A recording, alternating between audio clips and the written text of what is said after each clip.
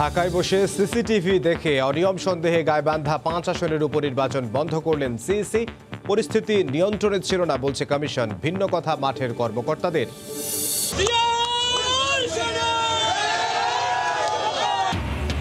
চট্টগ্রামে বিএনপির বিভাগীয় সমাবেশ। লড়াই ছাড়া বাঁচার উপায় নেই, বললেন মির্জা ফখরুল। বিশৃঙ্খলা করলে প্রতিহত করার হুঁশিয়ারি আওয়ামী লীগের। ইলিশ ধরায় নিষেধাজ্ঞা শুরুর ছয় দিনেও চাল পাননি বেশিরভাগ জেলে। প্রতি বছর কেন একই ঘটনা? উত্তর নেই খোদ মন্ত্রীর কাছেও। আমরা যেটা দিচ্ছি সেটা অতিরিক্ত দিচ্ছি। আমরা কিন্তু তাদেরকে এটা দিতে বাধ্য না। রাজধানীর বাইরেও ভয়াবহ হচ্ছে ডেঙ্গি। প্রতিদিনই ঝরছে প্রাণ। চব্বিশ ঘন্টায় বরিশাল ও মাদারীপুরে আঠারো রোগী আক্রান্ত। করোনা টিকা নিতে জেলা উপজেলায় শিশুদের ভিড়।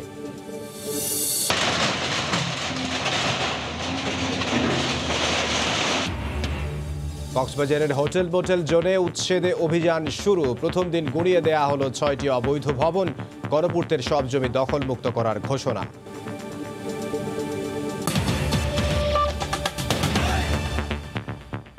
বাংলার সময় সঙ্গে আছে আমি ইমদাদুল হক। ঢাকায় বসে সিসিটিভি দেখে অনিয়ম সন্দেহে ভোট ভেস্তে দিলেন প্রধান নির্বাচন কমিশনার সকাল থেকে সহিংসতাহীন নির্বাচন হলেও জটলার প্রতীক সম্বলিত কাপড় পড়ার অভিযোগ আনে নির্বাচন কমিশন। এরপর একে একে একান্নটি কেন্দ্রের ভোট বন্ধ করা হয়। পরে বেলা আড়াইটার দিকে পুরোপুরি বন্ধ করে দেয়া হয় গায়বান্ধা পাঁচ আসনের উপনির্বাচন। প্রধান নির্বাচন কমিশনার জানান, পরিস্থিতি নিয়ন্ত্রণের বাইরে চলে যাওয়ায় এমন সিদ্ধান্ত।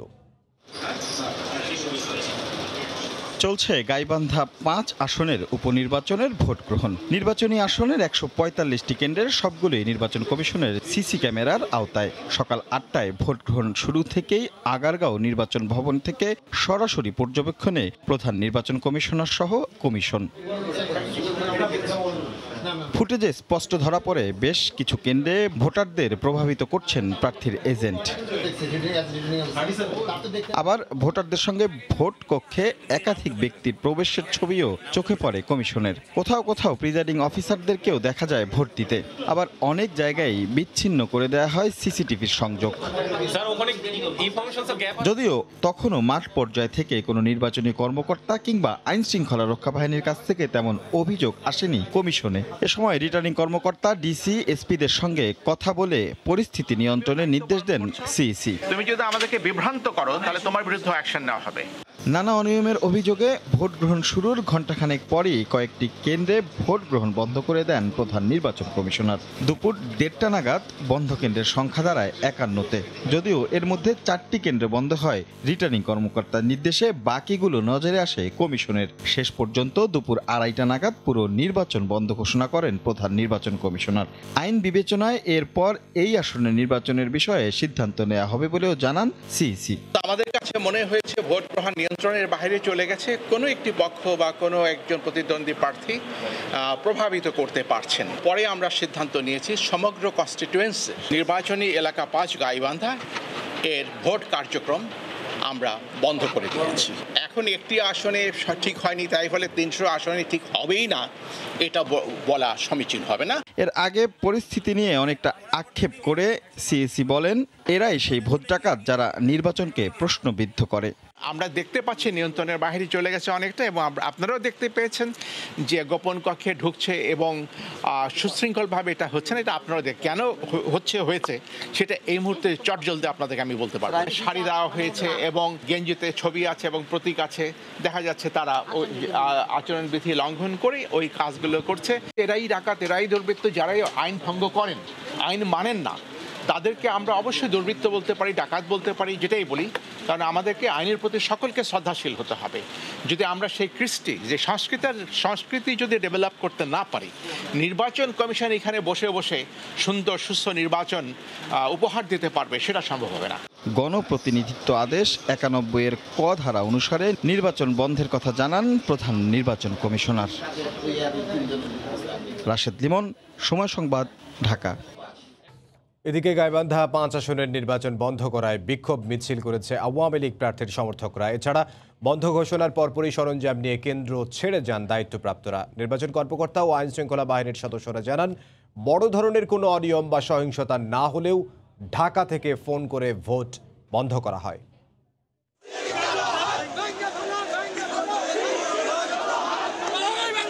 গাইবান্ধায় পাঁচ আসনের উপনির্বাচনে ভোট স্থগিতের প্রতিবাদে বিক্ষোভে উত্তাল হয়ে উঠেছে ফুলছড়ি ও সাঘাটা। স্থগিতের খবর প্রকাশের পর নৌকা প্রার্থীর হাজার হাজার সমর্থক শাহঘাটা উপজেলা পরিষদ চত্বরে জড়ো হয়। তাদের অভিযোগ বিরোধী দলকে খুশি করতে ইসি আওয়ামী লীগের বিজয় কেড়ে নিয়েছে। এ সময় সিইসির পদত্যাগ দাবি করেন আন্দোলনকারীরা। আমাদের কোনো সেন্টারে কোনো মানে গন্ডগোল নাই কোনো কিছু নাই কোনো বিশৃঙ্খলা নাই। সিআইসি যে ষড়যন্ত্র করে বিরোধী দলকে খুশি করার জন্য এই সিদ্ধান্ত এটা আমরা মানি না। কোনো সেন্টার যে মানুষ যে দখল করে ভোট যে নেওয়া তাও তো নেয়নি। সিএসির আমরা পদত্যাগ চাই। এর আগে নির্বাচন নিরপেক্ষ না হওয়া এবং অনিয়ম সন্ধে প্রধান নির্বাচন কমিশনার পুরো নির্বাচন স্থগিত করলেও ভিন্ন মত রয়েছে মাঠ কর্মকর্তাদের। তবে পোলিং এজেন্টরা বলছেন তাদের কেন্দ্রে কোনো বিশৃঙ্খলা হয়নি। কেন্দ্র অবস্থা খুব ভালো। সুষ্ঠু ভোট হয়েছে এখানে কোনো দুর্ঘটনা ঘটে নাই। অন্য এজেন্টরা আছে কেউ? অন্য সব প্রার্থীর এজেন্টেই আছে। কোথায় তারা? সবাই বাইরে আছে অপেক্ষা করতেছে। আইন শৃঙ্খলার দায়িত্বে থাকা সদস্যরাও জানান একই কথা। ঝামেলার কোনো হয়নি। এখানে শুধু ঝামেলা ফুটেজ নাকি ওনারা দেখছে সিসি ক্যামেরার মাধ্যমে ঢাকাতে। ওখান থেকে ফোন করেছে ফোন করে বন্ধ করেছে এটুকু অনিয়মের অভিযোগ এনে আওয়ামী লীগ ছাড়া বাকি চার প্রার্থী ভোট বর্জনের ঘোষণা দেন। কিছু কিছু কেন্দ্রের এজেন্ট ঢুকলেও তাদের সামনেই ও, মানে ভোটার গেলে পরে তার আঙ্গুলের ছাপ নেওয়ার পরে তাদের ইচ্ছা মতো তাদের প্রতীকে তারা ভোটটা প্রদান করছে। কোথাও কোনো অপ্রীতিকর ঘটনা ঘটে নেই যেটা নির্বাচনকে বাধাগ্রস্ত করতে পারে। সুতরাং এই ঘটনাটি সবাইকে হতবাক করেছে। এটা সম্পূর্ণ পরিকল্পিত। বিষয়টি আমার কাছে সম্পূর্ণ রহস্যময়। আসনটিতে প্রথমবার ইভিএমে অনুষ্ঠিত ভোট গ্রহণ এক হাজার দুশো বিয়াল্লিশটি সিসি ক্যামেরায় পর্যবেক্ষণ করা হয়। সময় সংবাদ গাইবান্ধা। এই মুহূর্তে গাইবান্ধার শাখাটায় আছেন সহকর্মী রতন সরকার। সবশেষ অবস্থা জানতে সরাসরি যাচ্ছি তার কাছে। সুষ্ঠু একটি ভোট হঠাৎ করে বন্ধ করে দেওয়ার প্রতিবাদে এই মুহূর্তে কিন্তু উত্তাল রয়েছে সাঘাটা এবং ফুলছড়ি আসন নিয়ে গঠিত উপজেলা নিয়ে গঠিত যে আসনটি। এই মুহূর্তে কিন্তু আমরা সাঘাটার যে আওয়ামী লীগের অফিস আছে সেই অফিসের সামনে অবস্থান করছি এবং এখান থেকে দলীয় নেতা কর্মীরা কিন্তু এখন বিক্ষোভে উত্তাল রয়েছে। আমরা হয়তো কিন্তু প্রতিবাদ জানাচ্ছে যে যেখানে আসলে একটি সুষ্ঠু নির্বাচন চলা অবস্থায় যে নির্বাচনটি আসলে ঢাকায় সিসি টিভি ফুটেজ দেখে বন্ধ করে দেওয়া হয়েছে। এর মাধ্যমে কিন্তু আওয়ামী লীগের সুনিশ্চিত যে জয় ছিল সেটিকে আসলে ছিনিয়ে নেওয়া হয়েছে। এখান, এখানকার যে নির্বাচনের চারজন প্রার্থী ভোট শুরুর কিছুক্ষণ পরেই কিন্তু আওয়ামী লীগের বিরুদ্ধে, আওয়ামী লীগের প্রার্থীর বিরুদ্ধে যে চারজন প্রার্থী ছিলেন তারা কিন্তু একত্রিত হয়ে একটি স্থান থেকেই ভোট বর্জনের ঘোষণা দেন, তারপরেই মূলত আসলে ভোটের পরিস্থিতি নির্বাচন কমিশনের যে সিদ্ধান্তগুলো একের পর এক- আসতে থাকে। একে একে একান্নটি কেন্দ্র বন্ধ করে দেওয়ার পর হঠাৎ করেই দুপুর আড়াইটার দিকে কিন্তু পুরো ভোটের প্রক্রিয়াটি আসলে এখানে আমরা ভোট গ্রহণের সঙ্গে সংশ্লিষ্ট যে কর্মকর্তারা ছিল তাদের সঙ্গেও আমরা কথা বলেছি। তারা কিন্তু আমাদেরকে জানিয়েছেন যে ব্যাপকভাবে মানুষের উৎসাহ উদ্দীপনার মধ্য দিয়েও কিন্তু যদিও কিছুটা ভোটার উপস্থিতি কম ছিল, তারপরেও কিন্তু নির্ঝঞ্ঝাট পরিবেশে এবং সুষ্ঠু একটা শান্তিপূর্ণ পরিবেশে তারা ভোট প্রদান করছিলেন। এই হঠাৎ করে ভোট বন্ধ হবার কারণে কিন্তু নির্বাচনের সঙ্গে সংশ্লিষ্ট কর্মকর্তারাই শুধু না, আমরা দেখেছি যে এই নির্বাচনে বিরোধী পক্ষের যে প্রার্থী ছিলেন, তাদের সমর্থকরাও কিন্তু হতভম্ব হয়ে গেছে যে আসলে এই ভোটটি কেন বন্ধ করা হলো। এর কারণ কিন্তু তারা খুঁজে পাচ্ছেন না। এখানে যে প্রশাসনের যারা এই ভোটকে গ্রহণের কাজে যারা জড়িত ছিলেন আইন শৃঙ্খলার কাজে নিয়োজিত ছিলেন, তারা কিন্তু এখন পর্যন্ত কোনো, এ বিষয় নিয়ে মুখ খুলছেন না। আমরা জানি যে এই নির্বাচনের সময়টিতে আসলে প্রশাসন এবং আইন শৃঙ্খলা রক্ষাকারী বাহিনী সহ সরকারি কর্মকর্তা কর্মচারীরা আসলে নির্বাচন কমিশনের অধীনে থাকে, তারা আসলে সেই কারণে এই সিদ্ধান্তের বিরুদ্ধে তারা কোনো কথা বলছেন না। কিন্তু তাদের মধ্যে আমরা কথা বলে দেখেছি যে তাদের মধ্যেও একটা ক্ষোভের সঞ্চার হয়েছে, কারণ তাদের কোনো রকম মতামত বা অভিযোগ না নিয়ে এভাবে একটি নির্বাচনী ব্যবস্থাকেই আসলে প্রশ্নবিদ্ধ করা হয়েছে। কারণ এইভাবে চারজন যে প্রার্থী, বিরোধী প্রার্থী এমন একটি সিদ্ধান্ত নির্বাচন কমিশন কীভাবে নিল সেই প্রশ্নই কিন্তু তারা বারবার তুলছেন। এখানে আমরা যতটুকু জানতে পেরেছি এই নির্বাচনের যে প্রার্থী তিনি সংবাদ সম্মেলন করে কিন্তু এই ইসির এই কর্মকাণ্ডের প্রতি অনাস্থা জানিয়েছেন এবং তিনি স্থগিত ভোট কেন্দ্রগুলোর ভোট আবার দাবি করেছেন। তো এই ছিল আমার কাছে গাইবান্ধা থেকে সর্বশেষ। আমি সরাসরি ছিলাম গাইবান্ধার শাখাটায়। টাঙ্গাইলে ইউপি নির্বাচনে আওয়ামী লীগের ও বিএনপির বিদ্রোহী প্রার্থীর সমর্থকদের মধ্যে সংঘর্ষ হয়েছে। এতে উভয় পক্ষের পাঁচজন আহত হন। এদিকে রংপুর জেলা পরিষদ নির্বাচনে স্বতন্ত্র প্রার্থীর বিরুদ্ধে ভোটারদের মধ্যে টাকা বিতরণের অভিযোগ উঠেছে। আবারও উত্তাল ভোটের মাঠ। ধাওয়া পাল্টা ধাওয়া ও সংঘর্ষের মধ্য দিয়ে টাঙ্গাইলে অনুষ্ঠিত হয়েছে ইউনিয়ন পরিষদ নির্বাচন। বুধবার সকালে গোপালপুরের হেমনগর ইউপি নির্বাচনের ভোট গ্রহণ শুরু হয়। হেমনগর সরকারি প্রাথমিক বিদ্যালয় কেন্দ্রেই হঠাৎই আওয়ামী লীগ ও বিএনপির নেতাকর্মীদের মধ্যে তৈরি হয় উত্তেজনা। এক পর্যায়ে সংঘর্ষে জড়ালে দুপক্ষের অন্তত পাঁচজন আহত হন। এদিকে রংপুর জেলা পরিষদ নির্বাচনে আওয়ামী লীগের বিদ্রোহী স্বতন্ত্র প্রার্থী বীর মুক্তিযোদ্ধা মোসাদ্দেক হোসেন বাবলুর বিরুদ্ধে নির্বাচনের ভোটার ইউনিয়ন পরিষদের সদস্যদের মধ্যে টাকা বিতরণের অভিযোগ উঠেছে। এ ঘটনায় আওয়ামী লীগ প্রার্থী বীর মুক্তিযোদ্ধা অ্যাডভোকেট ইলিয়াস আহমেদ নির্বাচনী আচরণবিধি লঙ্ঘনের অভিযোগে বাবলুর প্রার্থিতা বাতিল সহ আইনি ব্যবস্থা চেয়ে রিটার্নিং কর্মকর্তা ও জেলা প্রশাসকের কাছে লিখিত আবেদন করেছেন।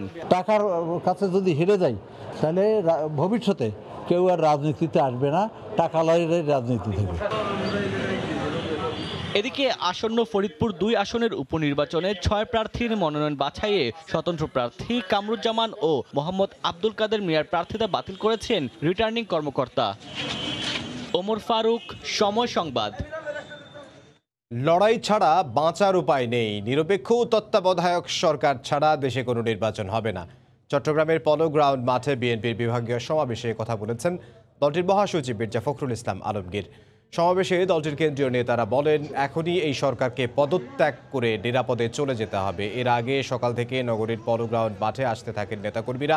কক্সবাজার, রাঙামাটি, বান্দরবান খাগড়াছড়ি ফেনী সহ বিভিন্ন স্থান থেকে নেতাকর্মীরা খণ্ড খণ্ড মিছিল নিয়ে জড়ো হন সমাবেশ স্থলে নিরপেক্ষ তত্ত্বাবধায়ক সরকারের অধীনে দ্বাদশ জাতীয় সংসদ নির্বাচনের দাবিতে গত সাতাশ সেপ্টেম্বর বিএনপি নয়টি বিভাগে গণসমাবেশের কর্মসূচি ঘোষণা করে।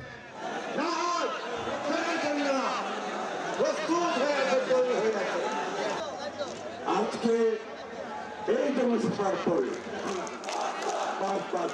অবিলম্বে তাকে পদত্যাগ করতে হবে আর এই সংসদকে বিলুপ্ত করতে হবে?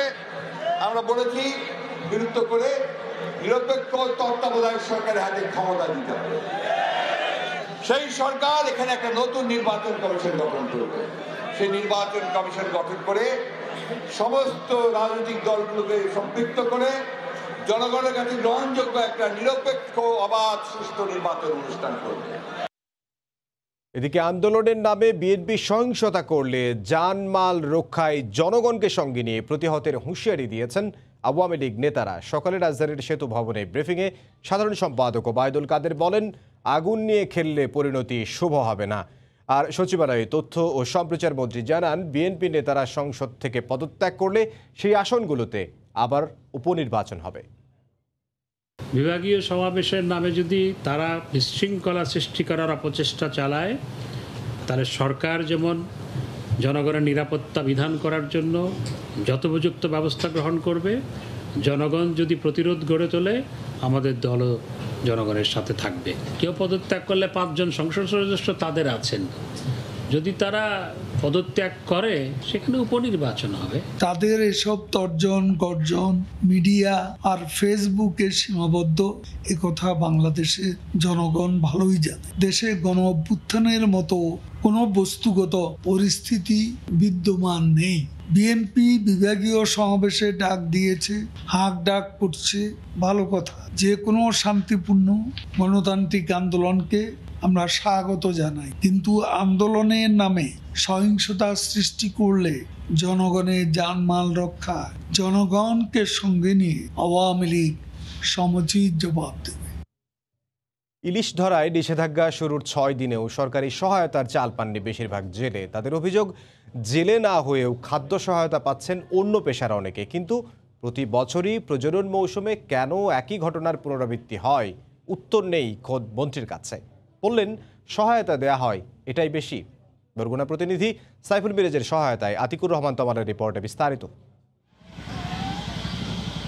নদী, মাছ, জাল আর জেলে, এই নিয়েই জেলে পল্লীর জীবন। সেই জীবন থমকে আছে ছদিন হলো, সাত থেকে আঠাশ অক্টোবর ইলিশ সহ মাছ ধরা বন্ধ। তাই নদীতে মাছ ধরে নয় বরগুনার জেলে কালামের দিন কাটছে জাল বুনে। সতেরো বছর ধরে মাছ ধরলেও জেলে হিসেবে সরকারি তালিকায় স্থান পায়নি তার নাম। তাই সরকারের চাল সহায়তা পাওয়ার সুযোগও নেই তার। সতেরো বছর ধরে জাল ভাই এর মধ্যে জাল লেখাট হয় নাই। চেয়ারম্যানের দ্বারা দুই তিন ফির গেছি। যাওয়ার পর চেয়ারম্যান বা- এখন আর সে নেই না। সব জিনিসের দাম বাড়িয়ে গেছে। বাজার ফাজার তো করতে পারি না। তারপর মাছ ধরা বন্ধ। তারপর চাল তো পাই না পরিবার নিয়ে অনেক কষ্টেই আছি। সরকার এবছর সারা দেশে সাড়ে পাঁচ লাখ জেলে পরিবারকে খাদ্য সহায়তার আওতায় এনেছে। খাবার নিবন্ধিত এই সাড়ে পাঁচ লাখের সবাই জেলে নন। খিলিস ধরা বন্ধের এই সময় নিবন্ধিত প্রতিটি জেলে পরিবার পঁচিশ কেজি করে সরকারি চাল সহায়তা পান। কিন্তু নিষেধাজ্ঞার ছয় দিন পরও চালের দেখা পায়নি বেশিরভাগ জেলে। অভিযোগ এমন যে নিবন্ধিত জেলেরাও খাদ্য সহায়তা বঞ্চিত। অরিজিনাল যে জাইলিয়া সাগরগাঙ্গি জাল ভাই এখন তো চাউল ঠিক মতন পাই না। বিগত আজকে সাত বছর থেকে জাল ভাই। দুই বছর আগে চেয়ারম্যানের দ্বারে গেছিলাম ওনাদের বলছি কাকা আমার তো জালি ছেলের নামটা হয় না আপনার এটা দেওয়ার ব্যবস্থা করেন। উনি বলতেছে আর দুই বছর পাও জেলেরা বলছেন শুধু চাল দিয়ে সংসার চলে না তাই নগদ অর্থও চান তারা। একদিকে সহায়তা নেই অন্যদিকে ইলিশ ধরা বন্ধ। যে কারণে পেটের দায় নিষেধাজ্ঞা অমান্য করেই নদীতে জাল ফেলছেন তারা। সরকার যে চালটা দেয় ও চালটা আমাকেও কিছুই হয় না। এর লগে যদি আমাদের যদি কিছু টাকা দিত তাহলে আমাদের সংসার যদি চলতে একটু ভালো হইতো। যারা অরিজিনাল জালিয়া তারা চাল পায় না। যারা গাড়ি চালায় ব্যাঙ্ক গাড়ি চালায় তারা চাল পায়। সব শুনে মৎস্য প্রাণী সম্পদ মন্ত্রী বললেন ছয় দিন পরও খাদ্য সহায়তা না দেয়া অন্যায়। যদি কারও গাফিলতির কারণে এমনটা হয়ে থাকে তবে ব্যবস্থা নেবেন তিনি। পৃথিবীর অনেক দেশেই আছে এই সময় কেউ মাছ ধরতে পারবে না। এটা আইন এবং বাংলাদেশের আইনেও আপনি মা ইলিশ বা ছোট ইলিশ ধরতে পারবেন না। আইনতই কিন্তু আপনি পারবেন না। আমরা যেটা দিচ্ছি সেটা অতিরিক্ত দিচ্ছি। আর আমরা যাদেরকে দিচ্ছি আমরা কিন্তু তাদেরকে এটা দিতে বাধ্য না। কিন্তু রাষ্ট্র নাগরিকের কল্যাণে কাজ করে সেজন্যই কিন্তু আমরা তাদেরকে দিচ্ছি। উপকূলের বরিশাল বিভাগে নিবন্ধিত চার লাখ জেলের মধ্যে তিন লাখ একষট্টি হাজার জেলেকে সহায়তা করতে মোট ন হাজার একশো চুরাশি মেট্রিক টন চাল বরাদ্দ দেওয়া হয়েছে। হাতিকুর রহমান তমাল সময় সংবাদ। ঢাকা। এদিকে নিষেধাজ্ঞা বাস্তবায়নে দেশের ছয় অভয়াশ্রমে কঠোর অবস্থানে নৌপুলিশ চাঁদপুর ও নোয়াখালী থেকে চব্বিশ জেলেকে আটক করা হয়। মাছ ও ট্রলার জব্দের পাশাপাশি বিপুল সংখ্যক কারেন্ট জাল ধ্বংস করা হয়েছে। জেলা রিপোর্টারদের পাঠানো তথ্য ছবি নিয়ে রিপোর্ট। বাবা অসুস্থ ঘরে খাবার নেই। এমন অবস্থায় বাধ্য হয়ে নদীতে জাল ফেলেন ছেলে যাকে কিন্তু প্রশাসনের চোখে ধরা পড়ে যায় সে। মানে কর্ম নাই দিকে আমার ছেলে তো নামছে নদীতে নিচে আর নদীতে আমার ছেলেরে লয়েছে গরু কথা ছিল দুই একদিনের ভিতরে চাল দিত তাহলে আমি বাল বাচ্চা ফোলাবান খেয়ে বাস ভাবলাম যে বাল বাচ্চা আছে। শুধু জাকির নয় ষষ্ঠ দিনের অভিযানে পদ্মা ও মেঘনায় নিষেধাজ্ঞা অমান্য করে জাল ফেলায় আরও উনিশ জেলেকে আটক করে নৌ পুলিশ। এ সময় জব্দ করা হয় বিপুল পরিমাণ জাল মা ইলিশ এবং চারটি মাছ ধরার নৌকা। এ সকল অসাধু জেলেরা ইতিমধ্যে মাছ ধরার চেষ্টা করছে নদীতে। আমরা কিন্তু তাদের বিরুদ্ধে কঠোর আইনানুগ ব্যবস্থা গ্রহণ করছি। নোয়াখালীতেও মেঘনা নদীতে তৎপর ছিল আইনশৃঙ্খলা বাহিনীর টহল। মাছ শিকারে যাবার চেষ্টা করায় চার জেলেকে আটক করে তাৎক্ষণিক জরিমানা করে ভ্রাম্যমাণ আদালত। পাশাপাশি জব্দ করা তিন লাখ মিটার জাল আগুনে পুড়িয়ে ফেলা হয়। এদিকে বড়গুনায় নৌকার ইঞ্জিন ও জাল মেরামত করে সময় কাটাচ্ছেন জেলেরা। আয় রোজগার না থাকায় সংসার চালানো নিয়ে দুশ্চিন্তায় তারা। কি খাম এই অপরাধে বইয়ে খামো কি? বউ পোলা তো মরবে। হুম, আমার তো কোনো জা- জাগা জমিন নাই। ওদের মোরা খামো কি? কাম কাজ নাই আরও বৃষ্টি বাদল হ্যাঁ আবহাওয়া ভালো না। গত সাত অক্টোবর থেকে শুরু হওয়া এই অভিযান চলবে আগামী আটাশ অক্টোবর পর্যন্ত। সময় সংবাদ। ডেঙ্গির চোখরাগানি বেড়েই চলছে মৃত্যুর তালিকাও, দীর্ঘ হচ্ছে। ঢাকার বাইরে আশঙ্কাজনক হারে বাড়ছে রোগীর সংখ্যা। গত চব্বিশ ঘন্টায় নতুন করে বরিশালে ও মাদারীপুরে আঠারো জন রোগী হাসপাতালে ভর্তি হয়েছেন। অক্টোবরে এসেও দাপট কমছে না ডেঙ্গুর। ঢাকার বাইরের জেলাগুলোও কাঁপছে ডেঙ্গু জ্বরে। হাসপাতালগুলোতে বেড়েই চলেছে রোগী। গত চব্বিশ ঘন্টায় শেরে বাংলা মেডিকেল কলেজ হাসপাতালে আঠারো জন রোগী ভর্তি হয়েছেন। এ নিয়ে হাসপাতালে ডেঙ্গুতে চিকিৎসাধীন আটচল্লিশ জন। গত সেপ্টেম্বর মাসে আক্রান্ত হয়ে মারা গেছেন পাঁচজন তবে এখন পর্যন্ত ডেঙ্গু রোগীদের জন্য আলাদা কোনো ওয়ার্ড খোলা হয়নি। সাধারণত স্বাভাবিক ট্রিটমেন্টেই সাধারণত সেরে যায়। আর খুব যেগুলো একটু খারাপ থাকে সেগুলোকে আমরা ক্লোজ মনিটরিংয়ে রেখে ব্লাড দেওয়ার ব্যবস্থা করি স্টার দেওয়ার দেওয়ার ব্যবস্থা করি ঠিক আছে সেক্ষেত্রে অনেকটা ইমপ্রুভ হয়ে যায়। যতই দিন যাচ্ছে মাদারীপুরে বাড়ছে ডেঙ্গু আক্রান্তের সংখ্যা। গত চব্বিশ ঘন্টায় হাসপাতালে ভর্তি হয়েছেন আঠারো জন রোগী। এদের মধ্যে রাজর উপজেলারই তেরো জন। চলতি মৌসুমে জেলায় এখন পর্যন্ত দুশো পঁয়তাল্লিশ জন আক্রান্ত। বেশিরভাগই রাজধানী ফেরত বলে জানান চিকিৎসক। ঢাকা বেড়াইতে গেছিলাম ওই জায়গার তো আক্রান্ত হয়েছি। আমার ছেলে খুবই অসুস্থ এই কারণে ওইখানে ভর্তি হয়েছি। আমার ছেলে এখন একটু উন্নতির দিকে আসছে। আতঙ্কের অবশ্যই আছে কারণ হচ্ছে কার সিম্পল ডেঙ্গু অবস্থা থেকে তার ডেঙ্গু হিমোলজিক ফিভারে কনভার্ট হয় বা ডেঙ্গু শক সিন্ড্রোমে চলে যায় এটা তো আগের থেকে বলার সুযোগ নেই। পিরোজপুরেও একই অবস্থা। শুধু সদর হাসপাতালেই গত চার সপ্তাহে ডেঙ্গু জ্বরে আক্রান্ত হয়ে সাতচল্লিশ জন রোগী চিকিৎসা নিয়েছেন। যারা মনে করবেন যে প্রথমত জ্বর জ্বর এবং গা ব্যথা জ্বরটা অনেক বেশি হয়। আমরা সরাসরি আপনার হাসপাতালে আসেন। ঢাকার বাইরে চট্টগ্রামে তেতাল্লিশ জন ও কক্সবাজারে একচল্লিশ ডেঙ্গু রোগী হাসপাতালে ভর্তি রয়েছেন। খাদিজা স্বপ্না সময় সংবাদ। সারা দেশে জেলা উপজেলা পর্যায়ে দ্বিতীয় দিনের মতো শিশুদের দেয়া হলো করোনা টিকা। সব কেন্দ্রে ছিল পাঁচ থেকে এগারো বছর বয়সীদের স্বতঃস্ফূর্ত উপস্থিতি। সন্তানের সুরক্ষায় টিকাদানে উদ্বুদ্ধ করেছেন অভিভাবক ও শিক্ষকরা। করোনার টিকা নিতে জেলা উপজেলায় কেন্দ্রে কেন্দ্রে শিশুদের দীর্ঘ লাইন। টিকা পাওয়ায় উচ্ছ্বসিত অভিভাবকরাও করোনা মোকাবিলায় সন্তানদের সুরক্ষিত রাখতে টিকা কেন্দ্রে নিয়ে আসেন তারা। ভয় কাটিয়ে টিকা নিয়ে হাসি মুখেই বের হয় কেন্দ্র থেকে। কত ব্যথা পাইনি আমার বন্ধুরাও দিয়েছে তাই আমিও দিয়েছি। আমি দিলাম আমার বন্ধুরা দিল। আমি করোনার টিকা দিয়েছি আমার কোনো ভয় নেই এখন আমি নিয়মিত স্কুলে আসতে পারব। অভিভাবকদের পাশাপাশি শিশুদের উদ্বুদ্ধ করছেন শিক্ষকরাও। বাচ্চারা ভয় পাচ্ছে না বাচ্চারা আনন্দের সাথে টিকা দিচ্ছে। অনেকে আবার আনন্দে দিচ্ছে অনেকে একটু ভয় করছে ছোট বাচ্চা তো একটু ভয় লাগবেই। শিক্ষার্থীরা স্বতঃস্ফূর্তভাবে এখানে টিকা প্রদান করতেছে। তো কোনো সমস্যা হয়নি এখন পর্যন্ত। উপস্থিতি খুবই ভালো। এখন পর্যন্ত কোনো ধরনের বাচ্চাদের কোনো সমস্যা হয় নাই। তারপরও আমরা বাচ্চাদের জন্য সার্বিক ব্যবস্থা রেখেছি। ইতিমধ্যে আমাদের বেশ কিছু শিক্ষার্থীদের আমরা টিকা প্রদান করতে পেরেছি। চলমান এই কর্মসূচিতে যেসব শিশু কোভিড টিকা নিতে ব্যর্থ হবে তারা আগামী চব্বিশ অক্টোবর নিজ নিজ কেন্দ্র থেকেই নিতে পারবে বলে জানিয়েছে স্বাস্থ্য বিভাগ। মনিরুজ্জামান প্রান্ত সময় সংবাদ। কক্সবাজারের হোটেল বোটেল জোনে উচ্ছেদ অভিযান শুরু হয়েছে। প্রথম দিন গুড়িয়ে দেওয়া হয়েছে ছয়টি নির্মাণাধীন অবৈধ ভবন। গণপূর্তের সব জমি দখলমুক্ত না হওয়া পর্যন্ত অভিযান চলবে বলে জানিয়েছেন কক্সবাজার উন্নয়ন কর্তৃপক্ষ। মোহাম্মদ ফরাজের ক্যামেরায় বিস্তারিত জানাচ্ছেন সুজাউদ্দিন রুবেল। কক্সবাজার সাংস্কৃতিক কেন্দ্রের বিপরীতে গণপূর্ত বিভাগের সাড়ে সাত একর জমি জুড়ে শতাধিক কটেজ স্থাপন করা হয়েছে। এসব কটেজের পুরোটাই অবৈধ। দীর্ঘদিন ধরে আইনি প্রক্রিয়ার বেড়াজালে এখানে অবৈধ স্থাপনা নির্মাণ করা হচ্ছে। যদিও চলমান মামলায় দু একর জমি আদালতের রায় মতে সৈকত বহুমুখী সমবায় সমিতি। বাকি জমি পুরোটাই গণপূর্ত বিভাগের। প্রত্যেকটাই কিন্তু অবৈধ তালিকায় পড়ে। কিন্তু তারপরও যেহেতু নির্মাণাধীন ভবন চলমান আছে, সেক্ষেত্রে কওকে সহযোগিতায় আমরা এগুলো ভাঙার জন্য বেশ কয়েকবার চিঠি দিয়েছি। জেলা প্রশাসক মহোদয়কেও চিঠি দেওয়া হয়েছে। সেই প্রেক্ষিতেই এই যেগুলো নির্মাণাধীন আছে, আমরা সেগুলোর উপরই এখন ইয়েগুলো, কার্যক্রমটা গ্রহণ করছি।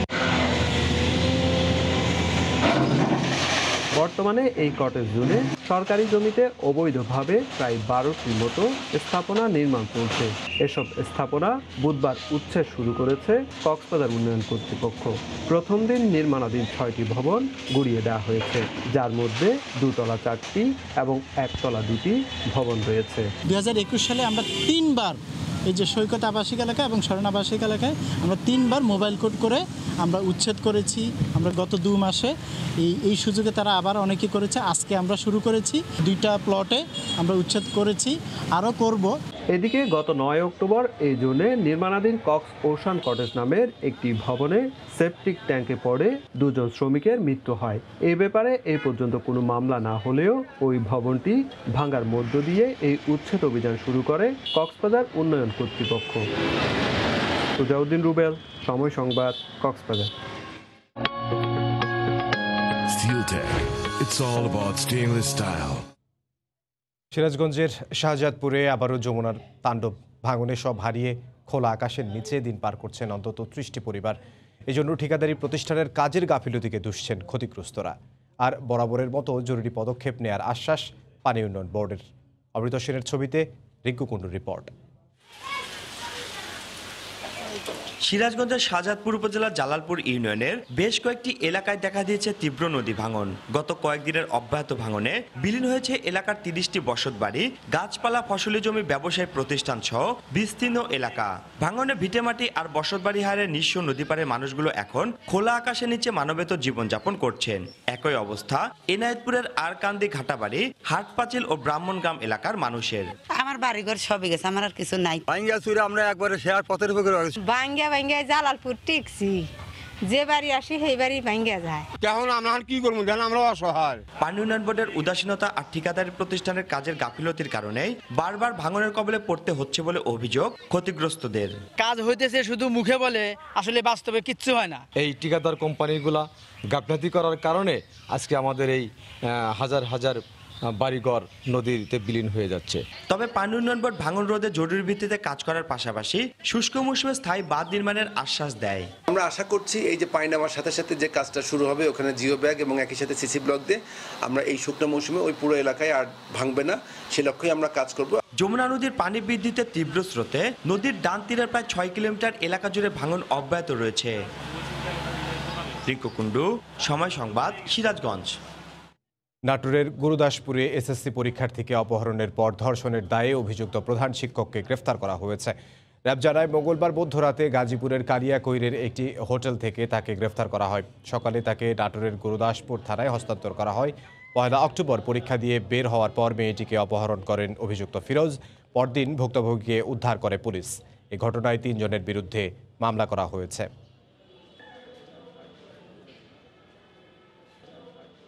স্কুল ছাত্রীকে অপহরণপূর্বক ধর্ষণের মামলায় প্রধান আসামি প্রধান শিক্ষক মোহাম্মদ ফিরোজ আহমেদকে অদ্য ঢাকা টাঙ্গাইল মহাসড়কের মৌমিতা হোটেলের সামন থেকে আটক করা হয়।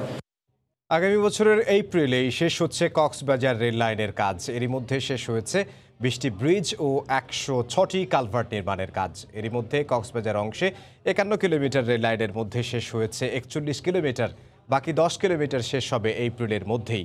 দু হাজারই কক্সবাজার রেল লাইন বহুমাত্রিক অর্থনৈতিক কর্মকাণ্ডের সূচনা করবে বলে মনে করছেন সংশ্লিষ্টরা। মোহাম্মদ ফরাজের ক্যামেরায় বিস্তারিত জানাচ্ছেন সুজাউদ্দিন রুবেল।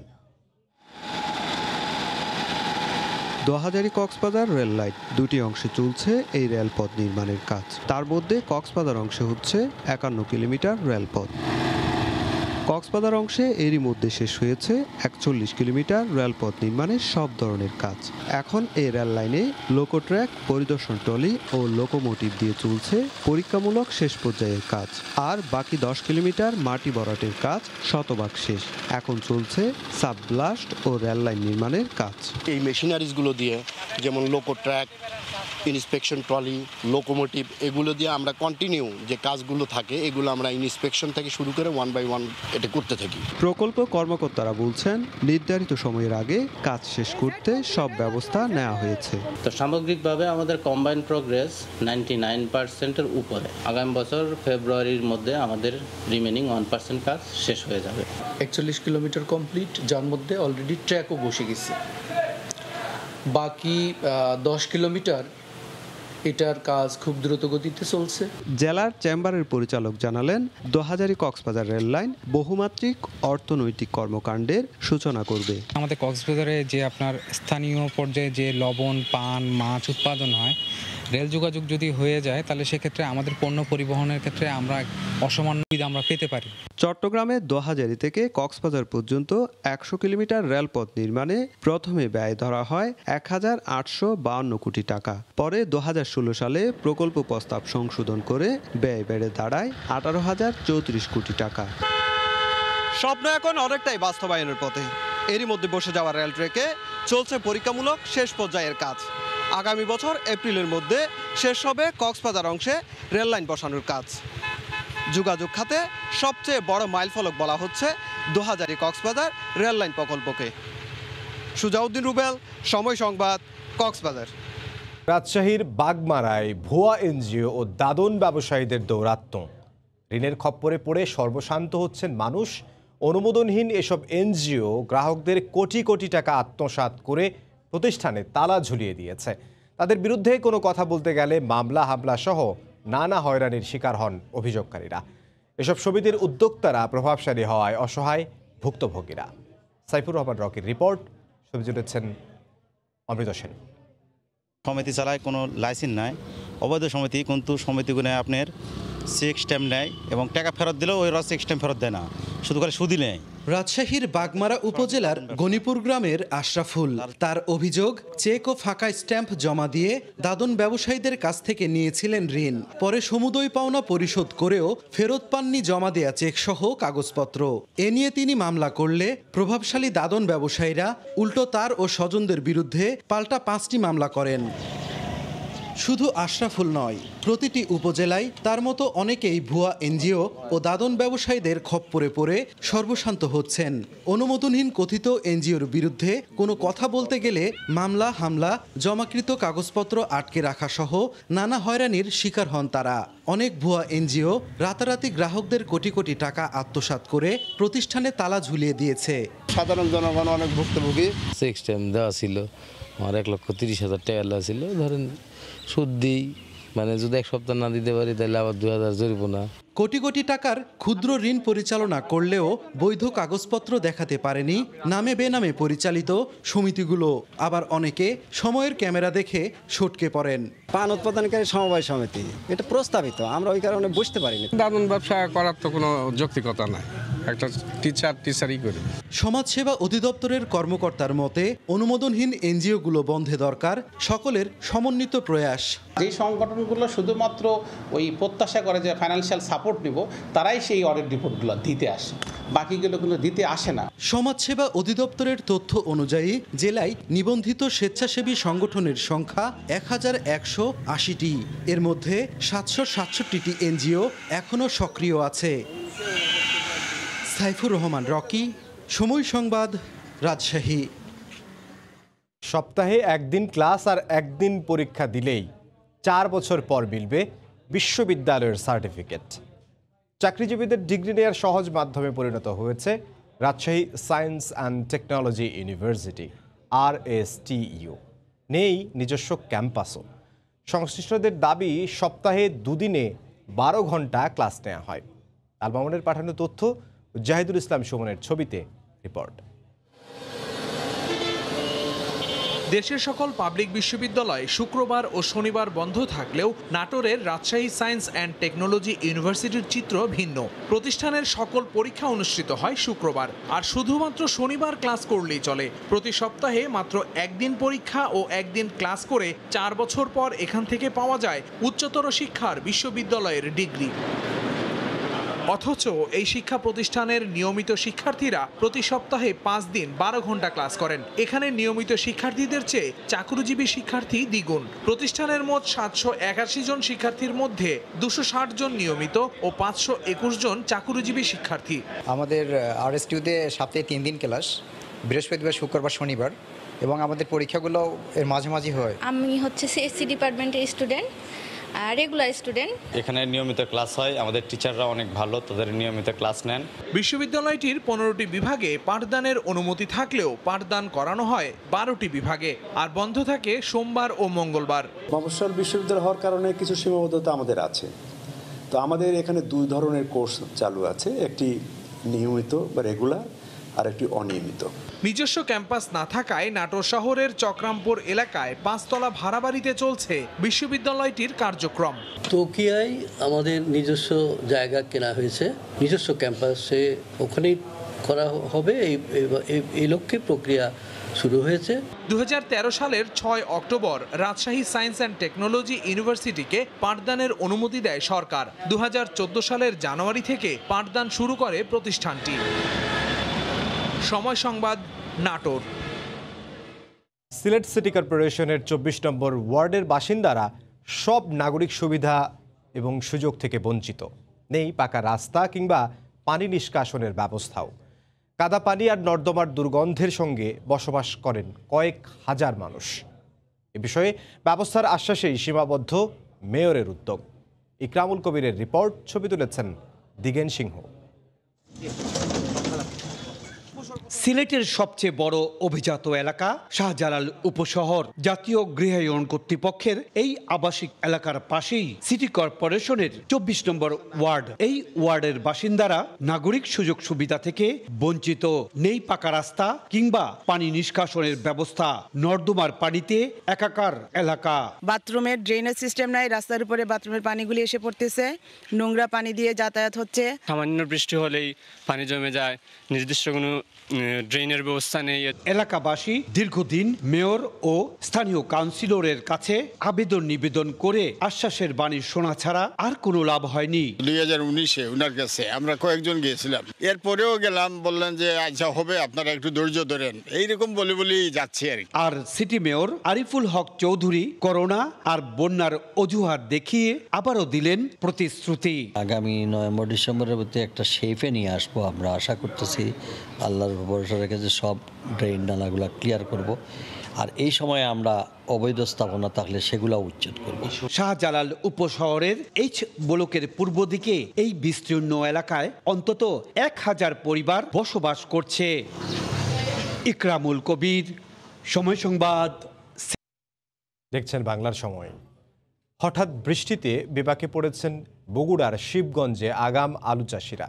কৃষি উপকরণের দাম বাড়ায়, এবার প্রতি বিঘার খরচ পড়বে অন্তত আঠারো হাজার টাকা। আবুল কালাম আজাদের ছবিতে জুম্মান সাদিক জ্যাভলিনের রিপোর্ট।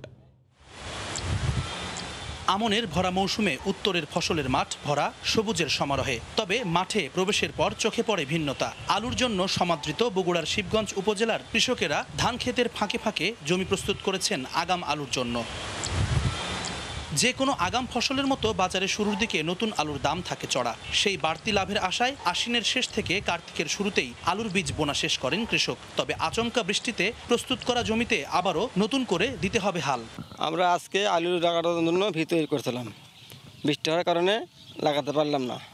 যার জন্য এক সপ্তাহ পিছিয়ে গেল। কিছু কিছু কাদা বালাম বালি মাটিতে সেখানে আমরা লাগাচ্ছি। আবার পুরো জমিটাই পুনরায় আবার চাষ করতে হবে।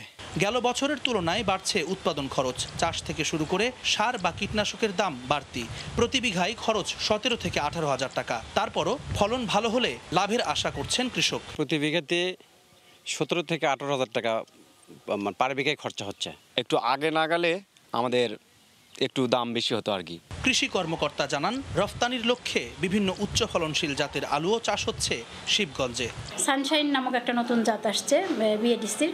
সেটা পঁয়ষট্টি থেকে সত্তর দিনের মাথায় হারভেস্ট করা যাবে এবং এটা এই আলুটা দেশে পাশাপাশি বিদেশেও আমরা রপ্তানি করতে পারব। চলতি বছর জেলার বারোটি উপজেলায় সাড়ে পঞ্চান্ন হাজার হেক্টর জমিতে আলু আবাদের লক্ষ্যমাত্রা নির্ধারণ করা হয়েছে। এর মধ্যে আগাম আলুর জমি দুই হাজার তিনশো হেক্টর। জুম্মান সাদিক জ্যাভলিন, সময় সংবাদ, বগুড়া। দেখছেন বাংলার সময়। চট্টগ্রামে আর্টিলারি রেজিমেন্টের একানব্বইতম রিক্রুট ব্যাচের প্রশিক্ষণ সমাপনী কুচকাওয়াজ ও শপথ গ্রহণ অনুষ্ঠিত হয়েছে। সকালে শহীদ মেজর নাজবুল হক প্যারেড গ্রাউন্ডে এই অনুষ্ঠানের আয়োজন করা হয়। এ সময় সব বিষয়ে সেরা নবীন সৈনিক হিসেবে বিবেচিত হন ইয়াসিন মাহমুদ ইমন। এছাড়া অস্ত্র প্রশিক্ষণ, শরীরচর্চা, সাময়িক প্রশিক্ষণ সহ চারটি বিষয়ে সেরাদের হাতে পুরস্কার তুলে দেওয়া হয়। নবীন সৈনিকদের নৈতিক মূল্যবোধ আনুগত্য ও শৃঙ্খলার কঠোর অনুশীলনের মধ্য দিয়ে দেশের সেবা করার আহ্বান জানান চব্বিশ পদাতিক ডিভিশন ও চট্টগ্রাম এরিয়ার commander major general Mizanur Rahman Shamim.